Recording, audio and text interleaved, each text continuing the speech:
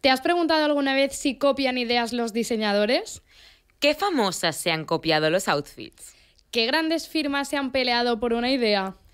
¿Qué celebrities se han enfrentado a marcas por plagio? Hablemos sobre alguno de los casos de copia y plagio en el mundo de la De la moda. moda. Uh, Dentro, que rompo el mono.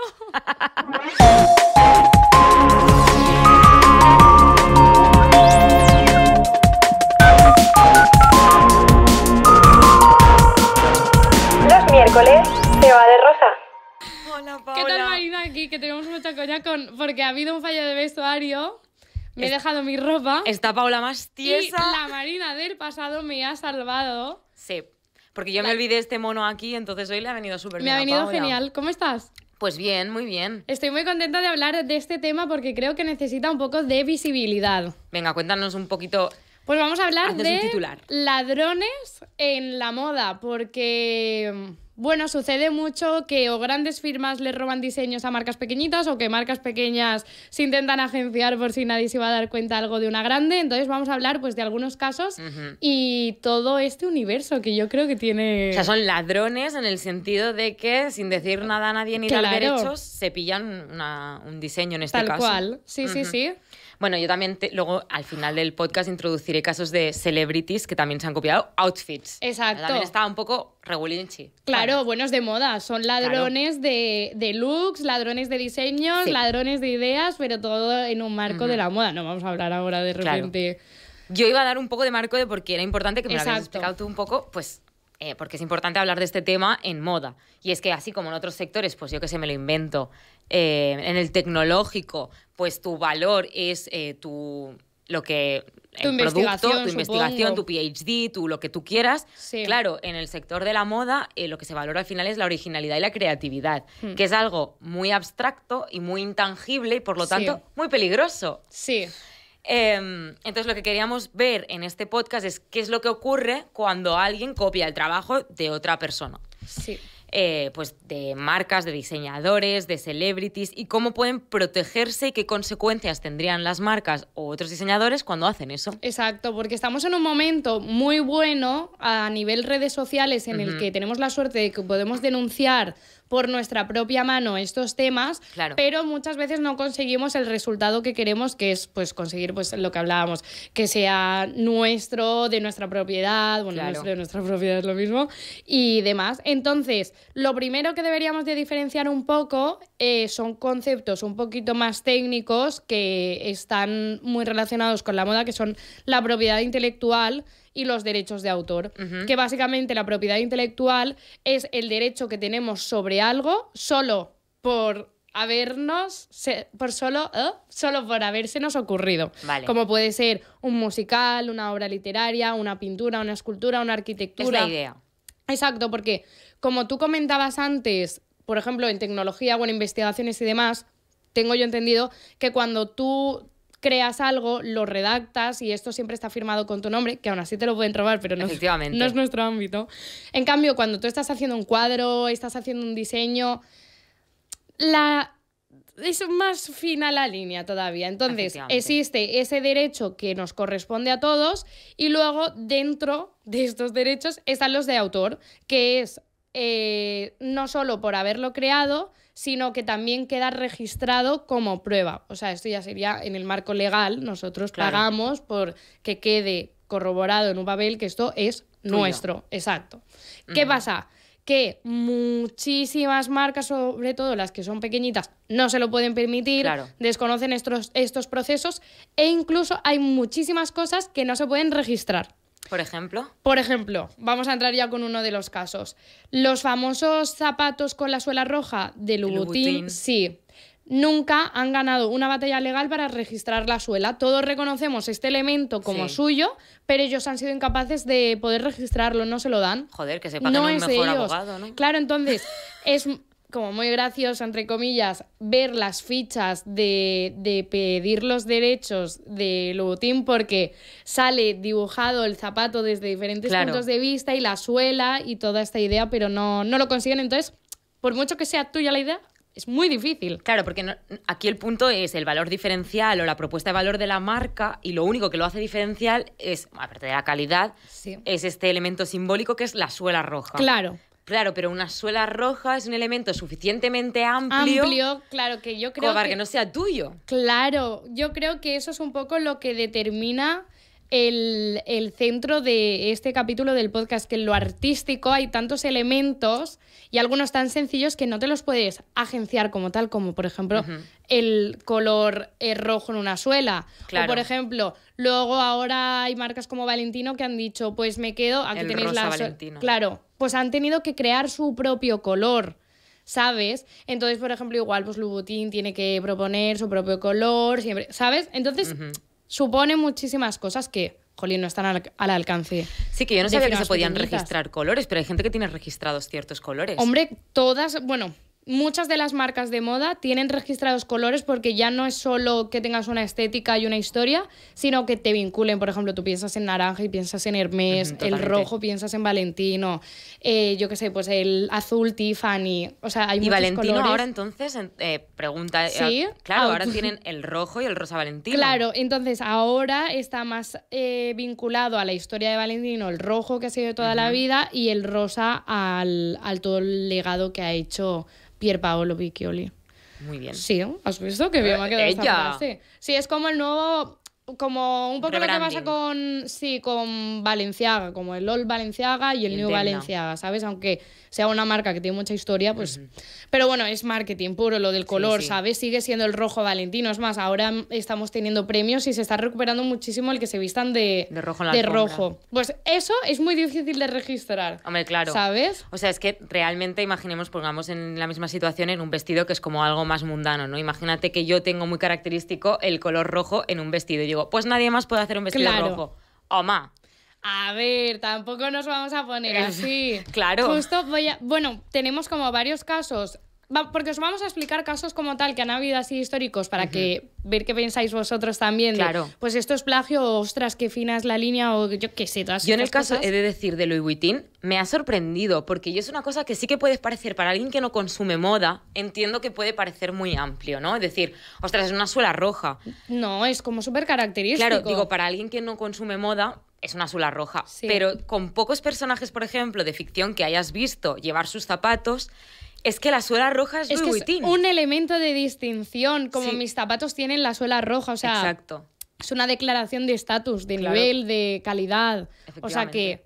Yo creo que es, es algo muy mainstream, ¿eh? Es aunque no heavy seas de que moda. no se lo hayan dado. Me parece heavy. Es muy heavy, además tiene mucha historia el tema de, de la suela roja. Pues eso es uno de los casos súper el heavy. juez no había visto Sexo en Nueva York y no había visto absolutamente Claro, nada. entonces vamos a hablar de varios casos que tienen denuncia y a- pues a ver qué pensáis si exitosos dale. o no y luego ya pues el resto pues otros así que quería contaros yo de que Yo aquí también estoy un poco de, de espectadora, porque claro. yo- no tú también sabes varios Sí, no yo sé unos cuantos, pero no, so- no soy tan deep en estos temas, entonces algunos me pillarán te por van a sonar sorpresa. todos Venga, ya vale, verás va. no te preocupes Dale. he empezado un poco a nivel nacional marcas nacionales porque yo creo bueno supongo que pasará en todos los países pero nosotros como estamos aquí en España Hemos visto muchísimas veces por redes sociales marcas pequeñitas que denuncian que les ha robado algo Sí. una marca grande. Entonces, obviamente, si hablamos de cosas de España, pues tenemos que hablar de Zara, que es nuestro gran plagiador,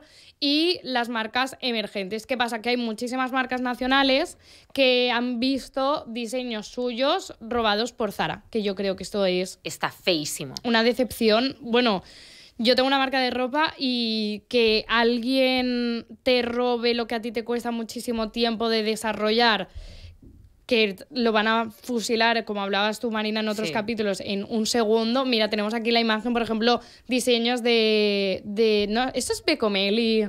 La, sí, y, y demás, o sea, son firmas nacionales conocidas. Y en un día te dicen chao y ningún tipo de reconocimiento ni nada. No, y lo peor es, o sea, yo, no está bien el plagio en ninguno de los casos, pero puedo entender que el fast fashion muchas veces copie hacia arriba, me refiero, hacia la alta costura. Sí, claro. Porque ahí hay- hay- ellos tienen una ventaja competitiva que es el eh, o sea, el Claro, estatus. y que su idea era acercar la moda de lujo Exacto. a democratizarla, pero al revés. Pero al revés es como, tía, Ya. que, que esta persona, o sea, que no, que, que tienes que ir, es como roba a los ricos, no a los pobres. Exacto, ¿no? exacto. Pues un poco lo que pasa yo creo con Inditex es que como ellos están tan en contacto con las marcas de aquí, con las redes sociales y demás, en cuanto ven algo que se hace viral, bueno, es que yo sé que los que nos estáis escuchando os vais a ver muchísimos casos de, de robos por Inditex y demás, así que nos encantaría que nos los contaseis. Denuncia social. Claro, yo el Vamos primero que por vi aquí. fue unos pines, unos pines pequeñitos que se lo habían robado a una chica que era diseñadora en Barcelona. Es que muchísimos, sí, Y sí, sí. los- literal, es que eran literalmente Dibujos a ilustradores, anillos también. Es que de todo, de todo. Todo lo que te puedas imaginar.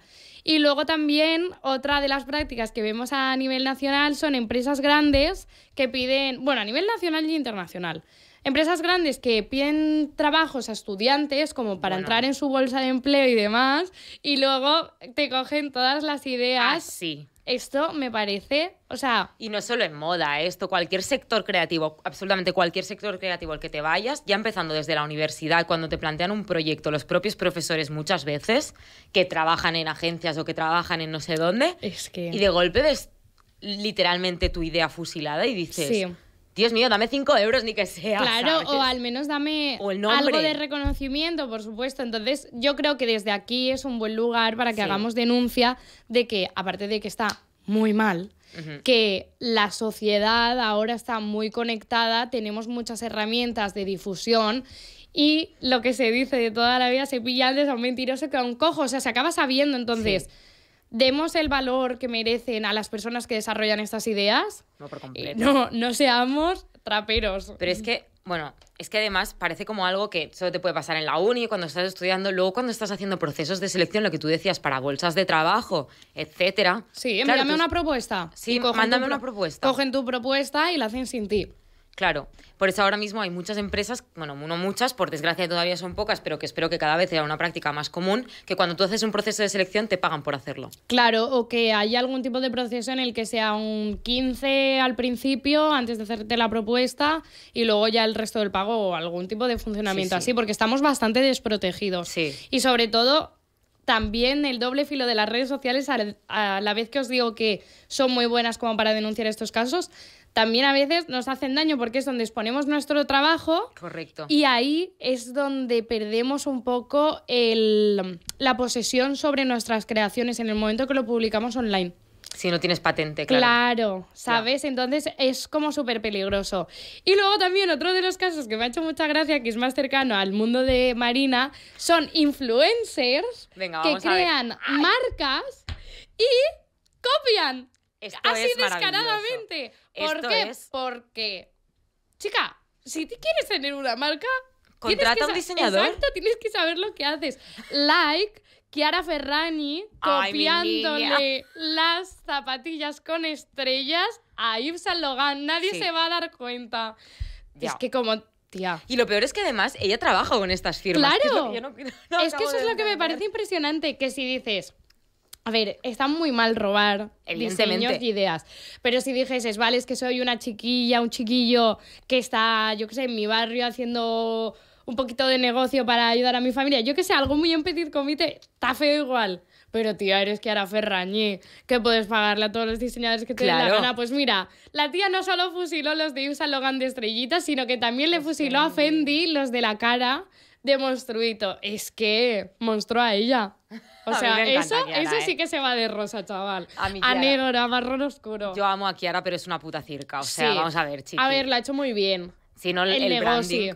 Claro. Pero claro, normal que hayas hecho bien el negocio robándole diseños a otros. Luego también, otro de los casos que tenemos de diseños robados, no es estrictamente de moda, pero sí que son personalidades de moda. Es Pelayo Díaz, ¿Ah, sí? cuando hizo el libro de Indomable. Ah, bueno, no, no, no me es de Alexa Chang. Sí, le plagió toda la portada a Alexa Chang de su libro It. Es, Pero por, por supuestísimo, pero bueno, Dulceida también se sumó aquí, ¿eh? es que, claro, yo entiendo que Alexa Chang sea tu referente porque Alexa Chang fue la primera It Girl reconocida Total. como tal y encajaba con el momento en el que Pelayo estaría empezando a introducirse en la moda profesionalmente, pero, tío, Pero este libro, tiene un poquito de sea, decencia. creo que la gente no entiende cómo de mainstream era este libro. O sea, Alexa Pero Chang... si los... Ah, yo tengo los dos. Digo, si los tengo hasta yo. No, tú sí, pero me refiero a alguien que a lo mejor no era en esa época, pues no sé, no había visto Gossip Girl, me lo Sí. invento, no entiende qué significaba Alexa Chang, porque ahora en la época de Instagram realmente ella ha pasado un poco más a segundo, a segundo plano. plano. y encima ahora que la han sacado de Next in Fashion, Es verdad. sepultada. Pues sepulta, pobrecita mía. Pero bueno, Alexa Chang era la it girl por excelencia. Salía Sí. con Alex Turner de Arctic Monkeys. Era como una chica así súper alternativa y hacía un blog. Y del blog salió el libro It. Claro. O sea, al final, bueno, para que os hagáis un poco la idea del nivel que era Alexa Chang, bueno, es, es como Chiara Ferragni, pero sin haberse convertido en una figura tan mainstream. Tan pop. Claro, Chiara Ferragni es una empresaria brutal. No, y claro, creo claro. que Alexa Chang se ha quedado muy dentro del tema moda. También es más indie ella. Claro. Entonces, Plagio total. pero además plagio, plagio vergüencita. Porque quiere decir, Sí. cualquier persona que le guste la moda habrá visto el libro de Alexa Chang, vergüencita. Tal cual.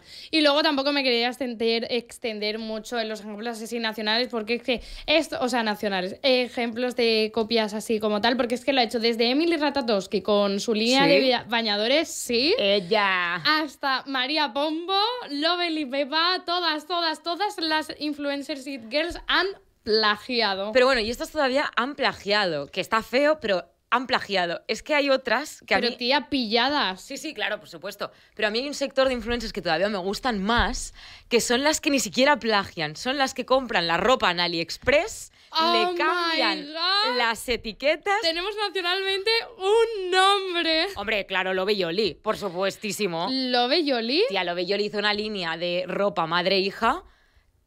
Madre Hizo. mía. Marina, yo pensaba que estabas hablando del caso más grande de España ¿Cuál te estás de pensando? comprar ropa baratuja y venderla. Seguro que lo sé, pero no me está viniendo. Natalia Osona. Ah, bueno, por supuestísimo. Por supuestísimo. Por favor, es que ahí es directamente ni, ni es que no me tomo ni las molestias De, de hacerlo. de contratar, o sea, de copiarte el diseño y desarrollar mi propio diseño. Pero es que además yo me la imagino rollo cortando etiquetas. a ver, que esto es un modelo de negocio. Bueno, claro, sí, minorista, ¿Sabes? mayorista. Esto es, verdaderamente es un modelo de negocio que es, pues esto, comprar Vamos un producto y de, claro, Sí, de mayorista Si mi madre es minorista. de toda la vida. Exacto. Pero mi madre no dice que los diseños son, Son suyos. suyos, exacto. O sea, Esa es la cuestión a la que quería llegar. No estamos criticando el modelo de negocio, estamos criticando el tema de los diseños y las copias de que ni siquiera estás Bueno, nena. tomándole la molestia al diseño, que Y estás que me- diciendo que es tuyo Y que, claro, y no, no, siempre soporta a los minoristas y ahí no está el punto. Ahí he hecho una línea Exacto. que la voy a vender a 60 euros la camiseta, que entras a AliExpress y la tienes a 10, Exacto. que da una vergüencita de decir, oye, Claro. no sé, camuflar un poco, dale un valor, Sí. dale un algo, ¿sabes? Sí, sí, No sí, sé. y completamente. Y además que con lo avanzado que está el negocio y con lo que debe de ganar esa mujer ya podría correrse un montón. Claro. Porque yo no he comprado. Pero las críticas que hay por ahí, patata barata. o sea. Ponlo, ponlo en TikTok. Tú O sea, exacto. Así que este sería unos casos así cercanitos, pero vamos a hablar de otros casos Está más feo, grandes. Está, muy feo. Em, casos más grandes. Yo aquí me he apuntado uno que me llegó a mí porque, bueno, yo leo y tal de modo a veces, eh, que es el de Gap, bueno, Sí. de Patagonia denunciando a Gap. Sí. Que esto yo no me había enterado, que se ve que les copiaron el modelo Snap T Sí. de t-shirt o de Que es lo como sea. muy representativo de la Es- firma porque tiene su bolsillito. Claro. Que yo hasta ahí, también hay un punto cuando denuncian un plagio que tú dices, bueno, ¿hasta qué punto es plagio o es casualidad? Porque al final ideas, igual que has llegado Mira, tú... lo me- en pantalla, claro, el tema del bolsillo y el logo. Claro, yo pensaba, bueno, igual es un polar, igual, yo qué sé, es una idea mainstream. Claro, es pero, algo tan normal. pero hay un close-up a los logos Sí. que ahí ya que han sí hecho que una dices, modificación del de Gap, ¿no? Claro, o sea, en el momento en que tú estás modificando tu propio logo de marca para que se parezca al de la marca que le has copiado, chica, disimula. Claro, porque hay uno de los temas dentro de las denuncias de, robos de diseños y demás, que es el buscar crear confusión en el público, que es lo que estás justo diciendo, que si Gap tiene un logo y lo está cambiando en este diseño para parecerse más al, Al de, de Patagonia, Patagonia. Está intentando que la persona que lo va a comprar se confunda, que diga, ¡ay!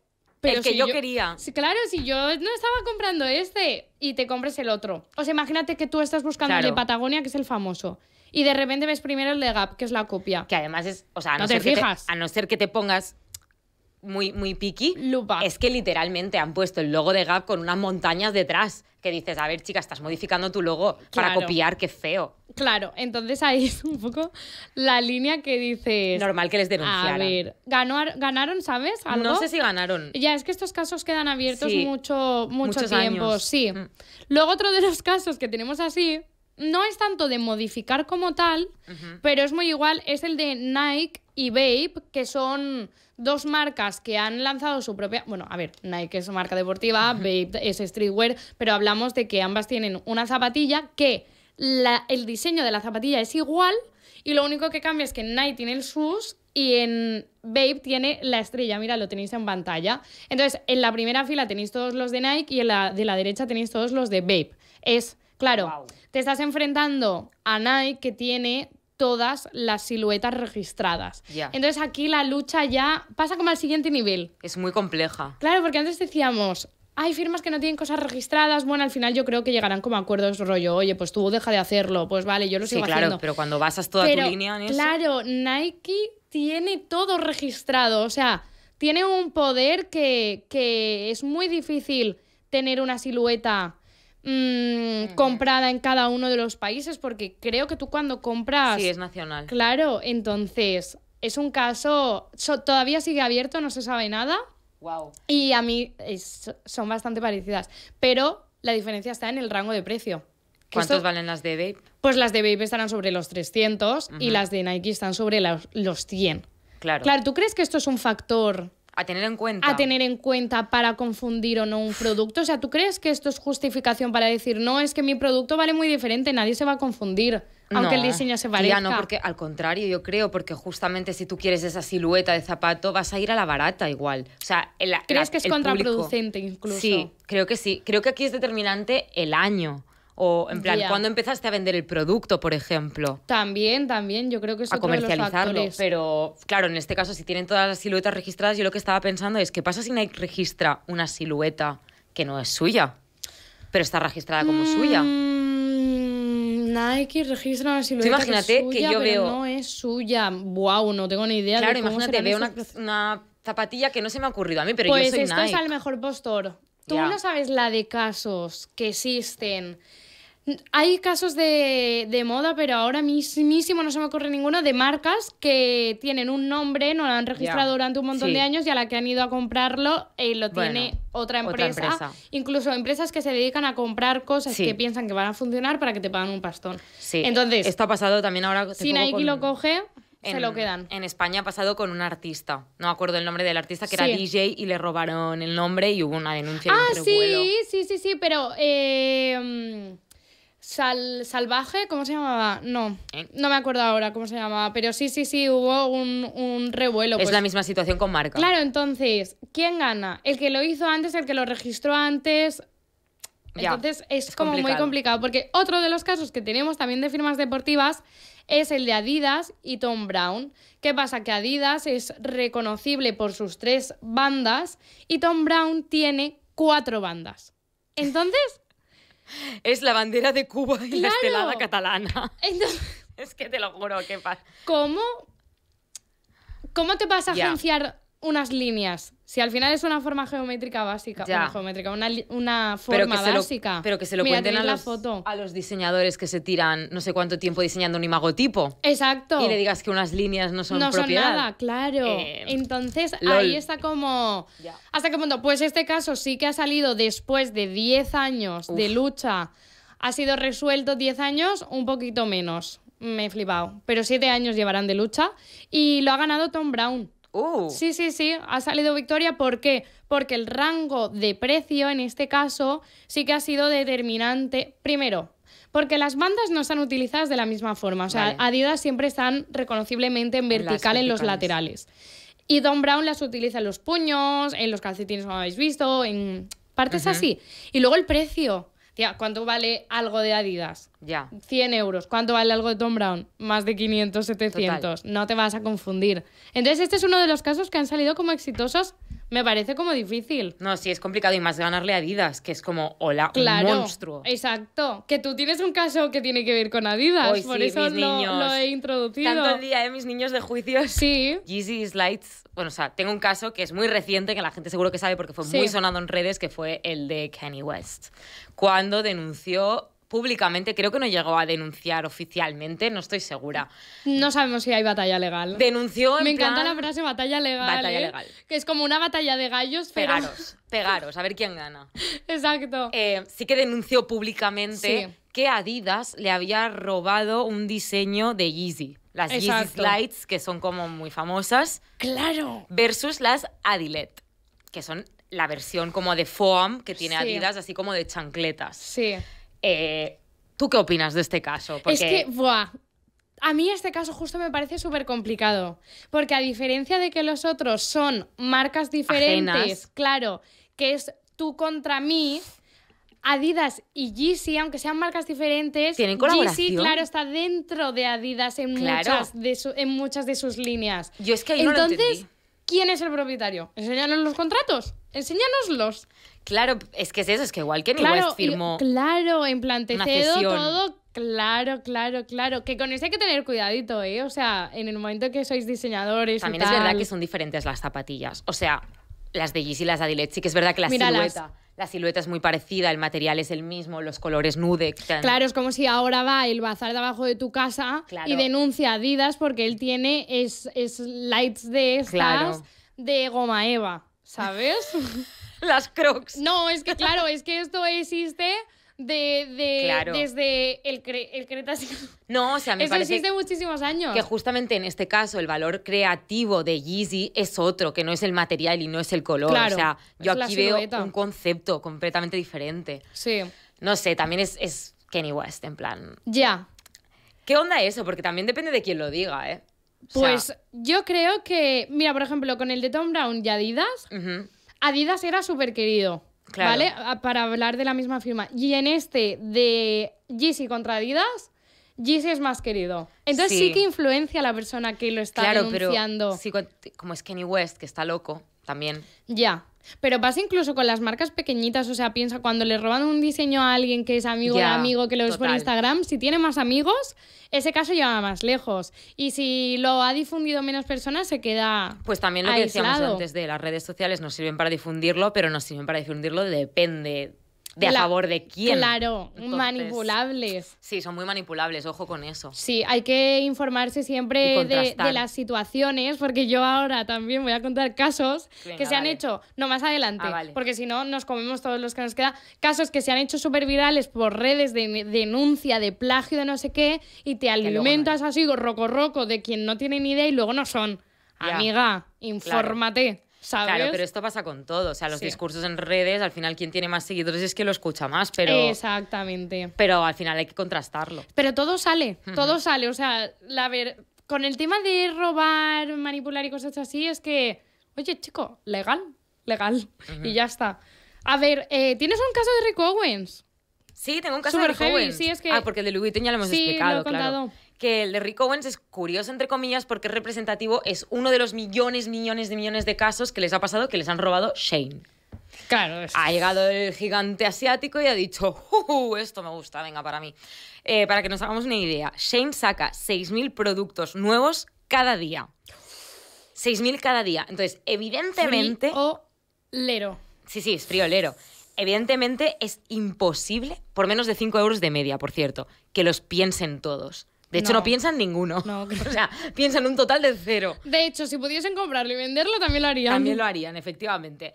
Entonces, ¿qué pasa? Pues que en este caso lo que hacen es coger mm, cosas virales y las sacan ellos. Y es lo que le pasó a un pantalón de Rick Owens que se llama el Mega Lace, Sí. eh, que bueno, en Shane lo vendían por 23 euros, si no me equivoco, y el de Rick Owens, en caso de que lo quieras, pues costaba 1.550 euros. Claro, porque Rick Owens tiene una calidad. Hombre, evidentemente. Es Y un- que además muchas veces no entendemos cómo... Bueno, nosotras mucho, hablamos mucho de esto de la moda barata, la moda cara, y mucha gente no entiende por qué las prendas tienen un precio y es porque ese diseño tiene un valor de desarrollarlo, ¿sabes? Evidentemente. O sea, mira, tenéis aquí el pantalón que está diciendo Marina.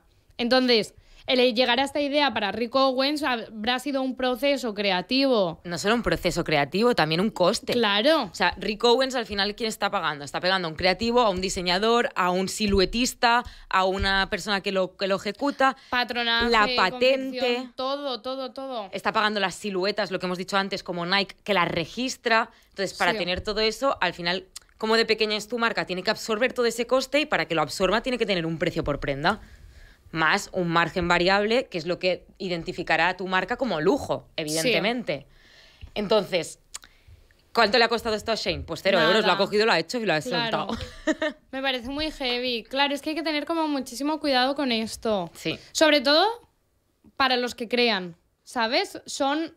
Porque muchas veces decimos, no, es que me la han copiado, tiene la culpa el que me la ha copiado. Bueno, nosotros también, por desgracia, tenemos que asumir nuestra responsabilidad, que es que si tenemos tanto miedo, tenemos como que registrarlo, Sí, ¿sabes? claro, pero también en qué punto económico estás tú para registrar el cuánto Ya. confías en ese proyecto. Exacto. Entonces digo que por ese lado es como un poco complicada la situación, ¿sabes? Y nada, y un, un caso también que a mí siempre me ha gustado mucho Sí. y me hace mucha gracia. Ese quería comentarlo yo. Es que es ¡Me apetecía un maravilloso.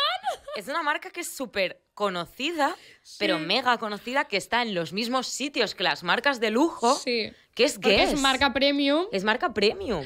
y es una marca que se ha sentado Haciendo... de yo le llamo fusiladas. Yo le llamo construida cachitos. O sea, literalmente una persona un día se sentó y dijo, esto de esta marca, esto de esta tal marca y esto de ¿eh? esta marca. Es que tal cual, tiene un poquito de Gucci, un, poquito de Prada, de, de todas, de todas. Un poquito de, no sé, de Cavalli incluso. Sí, sí, sí. No, de todas, literalmente. Mira, tenéis aquí uno de los ejemplos. Claro, esto es un Gucci versus Guess. Y, y sin ningún tipo de vergüenza. O No, sea, además, esto es una lucha histórica en la moda. O sea, por este mod, este imagotipo y este logotipo se ha luchado lo que no está escrito de, oye, no podéis hacer esto. Y sí, sí, se, se sigue haciendo. Sí, sí en podemos. zapatillas, en bolsos baguette. en todo, en, todos todo. lados. Es que yo no visualizo una industria de la moda sin que exista Guess. Yo creo No. que es como ese nexo inter- intermedio entre el lujo y el fast fashion que dice, Pues aquí estoy yo. si de aquí comemos todos, ¿por qué os peleáis? Efectivamente, estoy comiendo de todo, no os preocupéis, eh, yo estoy bien. Eh, eh. ¿Te imaginas? Me encanta. Guess se posiciona como firma número uno en ventas. Me lo imaginaría Sí, perfectamente. sí, además tiene sentido. Pero es que hasta el logo, yo cuando veía el logo de Guess, digo, pero si es Todo. Prada, o sea, Todo, ¿qué todo, todo. coño? Muy heavy. Qué fuerte, es que es un caso como súper sonado. Mira, me duele hasta aquí de reírme. Sí, pero es tan sonado que ya no tiene ni sentido denunciarlo casi, No. porque es tan obvio Claro, que... que, que, o sea, ya piensas que el que lo compra lo asume, Claro. ¿sabes? Yo he de decir que soy muy fan de un tipo de cosa de Guess, que ¿El sí que me lo compraría, que son los baguettes que fabricaba Guess durante los 2000. Sí. Me encantan todos. Pero si yo creo que tengo uno... Seguramente en Vinted yo soy compradora activa de esos Porque bolsos. ¿sabes lo que pasa? Yo creo que Guess es la primera firma de contacto con moda de lujo cuando o no estás tan informado o no tienes tanto dinero. Puede ser. ¿Sabes? Porque yo me acuerdo que cuando empecé en la industria de la moda a estudiar, o sea que era muy cría, la primera firma con la que tuve contacto, como con si fuese Guess. de diseñadores, con Guess. Claro. Entonces es como premium, pero todo... Bueno, le- la parte de diseño no Diseños, te ofrece originalidad, claro.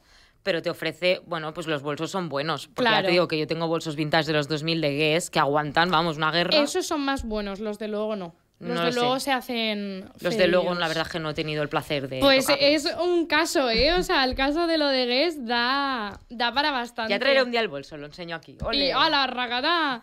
Y luego, mira, ahora que estamos como en esa línea de entre los casos que sí Que que, sí han que son y que sido no. y que no, vamos con los casos que no, que la primera, a mí, ¿cómo se empezó con Zara? Voy a empezar esta sección con Zara. Me hace muchísima gracia Venga, dale. Que Zara denunció, O no. Zara denunció, no. escuchad, a una marca emergente porque le había plagiado un diseño. Pero espera, tócate los Vergüenza, cojones. ¿eh? Que es que le habían cogido a Zara la foto y todo.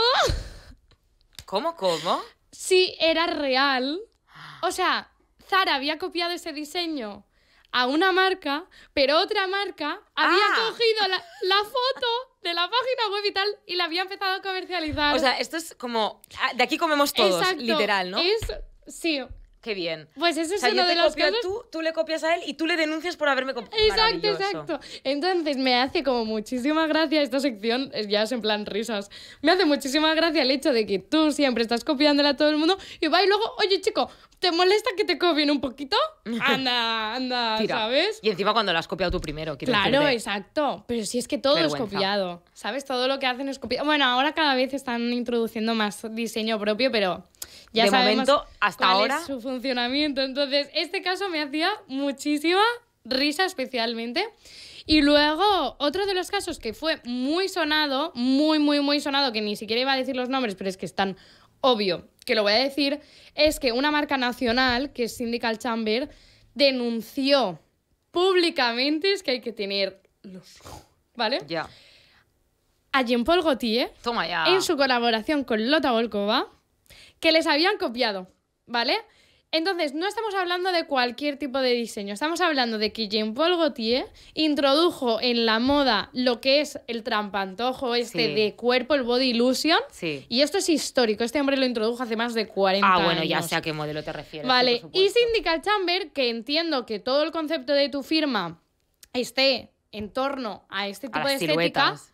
pero que te atrevas a denunciar públicamente que te ha copiado a ti Jean-Paul Gaultier, perdona, es que aún lo denuncias y te sale mal el juego y, y- y te denuncian ellos y tienes que pagar. Claro, porque la Que idea justo original. mientras lo estoy contando, me estaba acordando de un caso que no tiene nada que ver, pero no lo voy a contar, de una persona que denunció a una empresa por X motivo y la empresa dijo, mira, pues no sabíamos ni de tu existencia, pero ahora que nos lo dices te denunciamos nosotros a, a ti, 5.000 pavos. Hombre, no, es que puede pasarte 5.000 perfectamente. pavos a una persona física como eres tú y yo y que De nos hecho, si, escucha. si me dices que Jean, bueno, si me dices, sabemos que Jean-Paul Gaultier introdujo estas, este tipo de trampantojo, el trompeil, Sí. eh, que le llaman, eh, tiene la propiedad intelectual de alguna manera. Claro. No te digo los derechos de, pero la propiedad intelectual. O lo que tú decías antes, Sí. el hecho de haberlo hecho el primero, Claro, al sí. menos dentro de, de la moda, ¿sabes? que, tendría- que tendrías que ser tu referente más que, o sea, básicamente claro, es eso. tú puedes decir como, a ver, yo no sé si esto fue un... Yo quiero pensar que esto fue marketing, Puede porque salió en medios de fuera de España y todo. Entonces, te has hecho mucho hueco y mucha sonoridad, porque lo que tú decías antes, Marina, que no se pueda permitir el de Jean-Paul Gaultier va a ir al tuyo. Claro, y tu firma se ha llevado mucha fama. Pero de ahí a decir que te han copiado, Ya. o sea, ¿tú no crees que es muy osado? Es tener un ego grande. Claro. O sea, Sí. ¿no crees que es como muy grave acusar... Vale, para mí es súper grave acusar de plagio. ¿No crees que actualmente estamos viviendo un momento en el que la cancelación Es muy y la copia y el plagio es como a la ligera? Bueno, porque es muy rápido y muchas veces eh, ese es lo que hablábamos antes. Tú te crees a la versión más que se amplifica más, pero que no tienes a lo mejor el conocimiento ni las pruebas ni no puedes contrastarlo. Claro. Porque no sé si esta marca tenía registrado al final el diseño. Es que es como todo, es un tema tan de- No, No, no, claro, por supuesto. Bueno, no lo sé. El diseño del vestido igual sí, no lo sé. no sabemos. En cualquier pero- caso, eh, yo como usuaria de redes, si lo veo en redes, pues a lo mejor puedo pensar, hostia, qué putada, le han Claro, copiado. tal". exacto. Cuesta mucho diferenciar y, y buscar entre toda la información que hay. Sí. Y también somos muy vagos para hacerlo. Claro, claro, al final, por ejemplo, el caso de lo de Jean-Paul Gaultier, nosotras lo sabemos porque conocemos historia del diseñador y demás, Y porque es muy pública la historia de Claro. Jean-Paul Gaultier. pero otros casos así más aislados dices, Claro, "Guau, o emergentes, no tengo o- ni idea. Que no hay precedentes, que no hay... Es muy complicado, tía. Sí. Y luego, hablando de, porque yo te he dicho, esto puede ser una técnica de Ah, marketing. sí, efectivamente. Hay mucha gente que lo utiliza como altavoz o no como altavoz, sino para mandar un mensaje. Hmm. Eh, entre el caso, bueno, los casos más famosos de gente que lo utiliza para mandar mensajes, pues tenemos a Valenciaga, que como ya sabemos, pues hay mil productos que ha hecho Valenciaga, desde ambientadores hasta bolsas de Ikea, a- no me acuerdo qué otro producto puse más, pero que ha habido gente que ha usado denunciarlo por plagio. Claro. Cuando realmente ya sabemos Que es su propia burla, ¿no? es su burla, es su ironía, ¿no? Mira, es como ahí tienes decir, el ambientador. te cojo un producto barato y te lo vendo a 5.000 pavos. Claro. Me lo invento.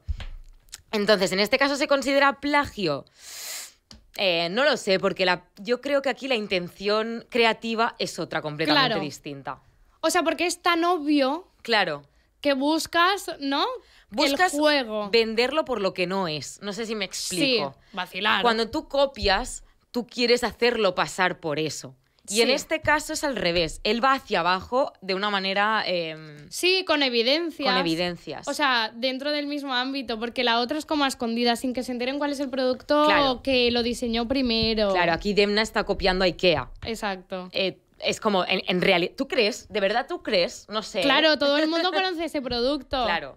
Entonces, eh, también es el caso de Mischief, Sí. que ya hemos hablado de MS... MSCH. Exacto, que alguna otra vez hemos hablado de ellos que utilizan productos, en este caso zapatillas, para la, para la denuncia.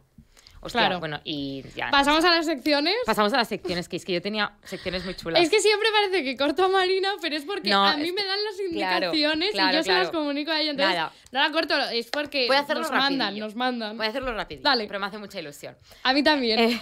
A mí también, Marina, vamos. Em, visto en redes, ¿vale? Ahora sección de cosas que hemos visto en redes. Yo he visto en redes como Off-White ¿Sí? denunciaba públicamente que una heladería le había copiado. No me digas. ¿Sabes qué es la- Encima of white. Off-White a una heladería, a ver, era copia, sí. Se llamaba Off-Diet porque eran ¡Ah! ice, eran ice creams bajos en azúcares, ¿vale?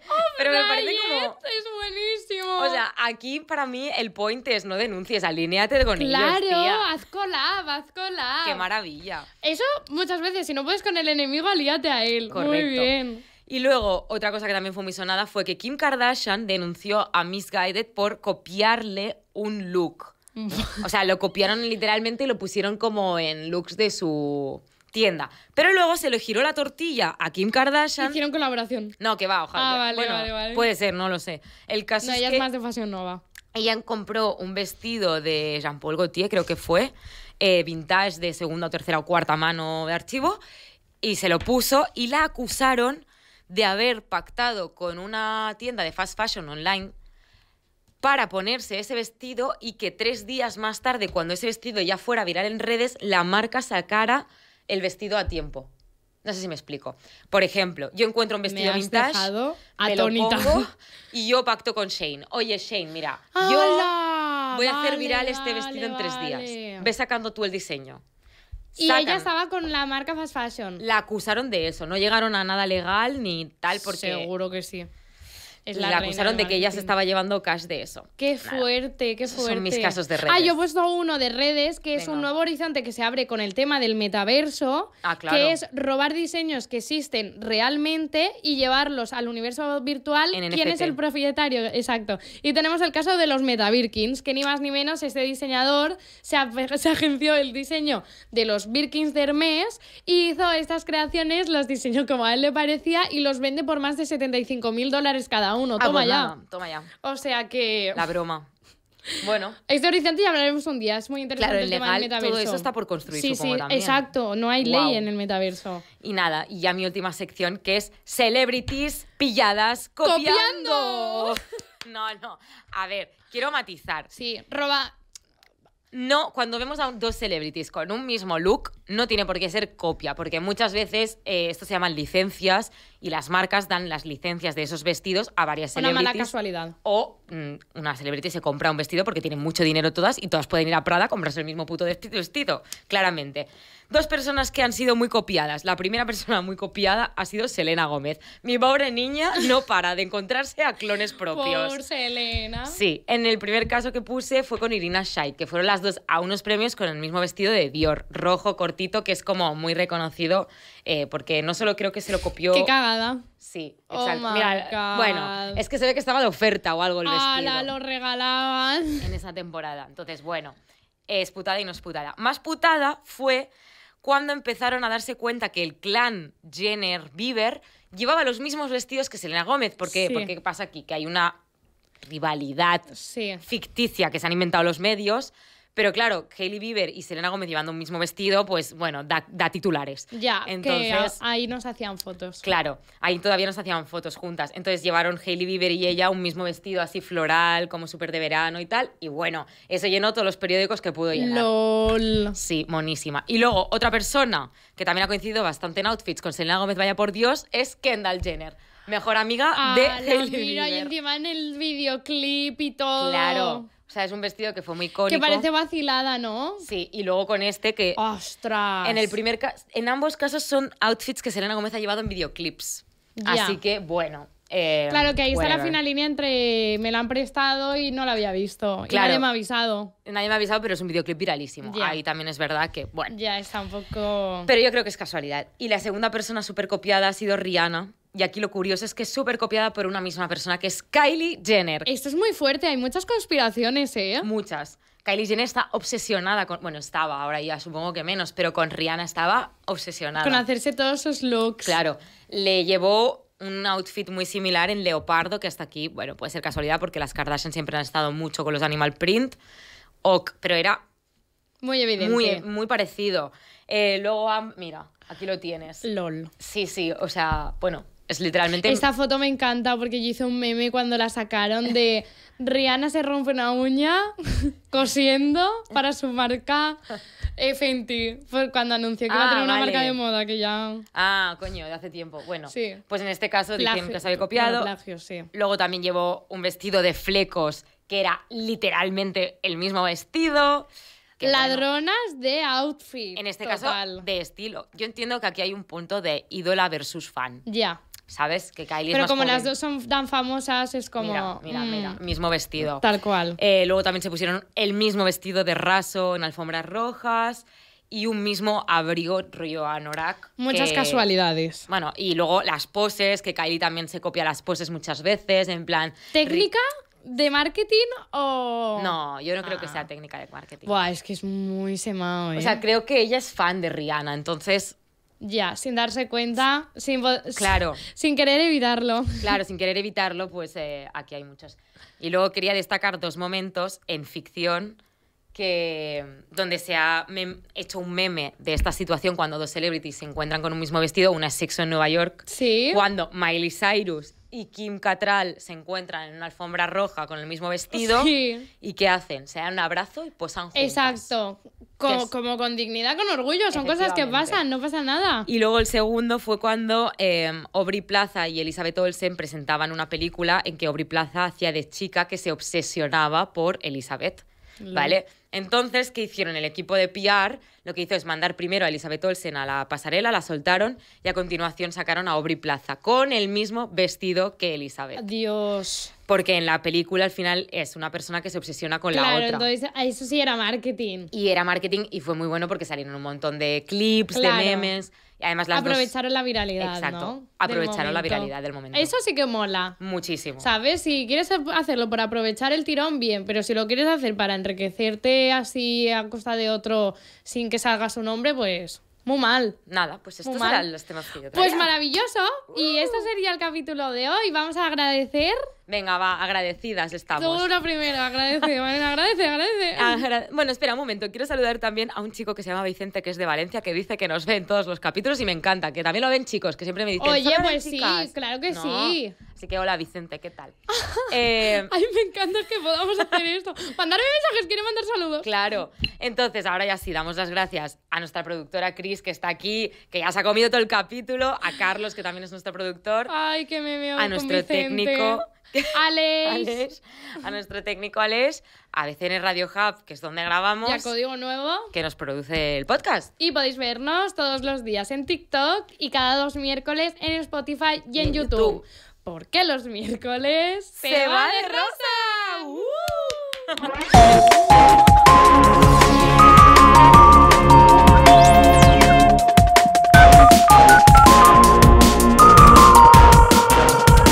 miércoles va de